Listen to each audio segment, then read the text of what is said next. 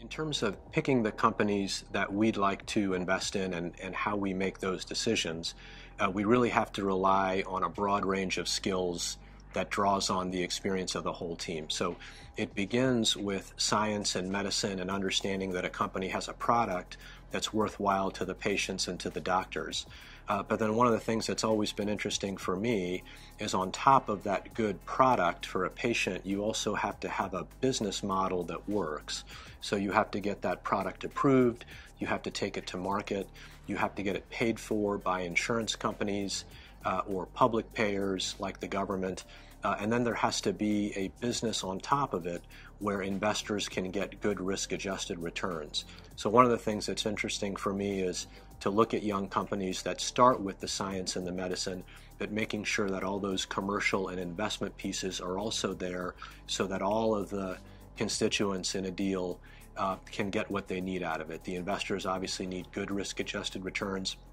consistent with the strategy that they've signed up for, and then the doctors and patients uh, also need what they, what they need out of a young uh, healthcare growth company in terms of quality care uh, that's cost effective for the patients and for the healthcare system.